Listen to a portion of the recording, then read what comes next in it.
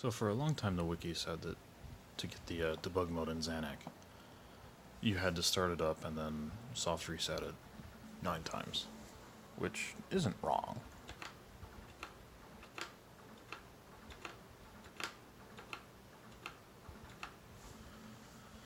Uh, the part that was wrong was you had to type in compile.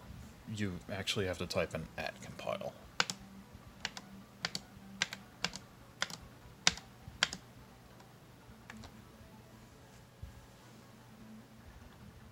And then once you do that, you get access to the fun debug mode that uses keys on the Famicom keyboard of all things.